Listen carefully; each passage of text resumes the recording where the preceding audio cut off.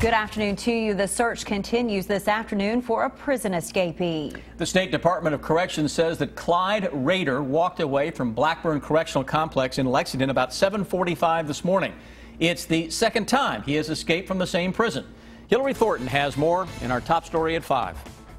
With the news of this latest escapee here at Blackburn Correctional Complex, folks living in these surrounding areas say while it does cause some concern, it's mainly frustration.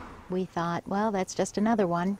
Jill Long lives within eyesight of the minimum security state prison. It is the prison officials say 45-year-old Clyde Rader walked away from sometime before 8 o'clock this morning. The close proximity to the prison means that when they leave, they're trying to get away from here as far away as possible.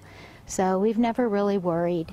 Rader is serving a 64-year sentence for convictions out of Madison and Fayette counties on charges that include burglary, robbery, and a previous escape charge. That escape charge coming from the same place he's now on the run from 19 years later, taking off from Blackburn back in December of 1997. If his sentence was that long, then surely he doesn't need to be in such a minimum grade facility. We get frustrated because many, many times these are repeat offenders, people who are put in the country club, as we call it, and who are there for a while, then they escape, then they're caught, then they're back and forth. While that frustration is the main feeling for many neighbors out here, this latest escape is creating some concern of safety for others.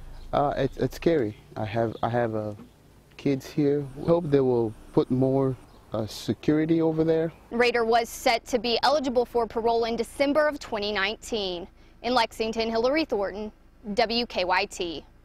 Rader is described as six feet tall, weighing about 160 pounds, with blue eyes. He was last seen at the prison. After he left, he was wearing a white T-shirt and khakis.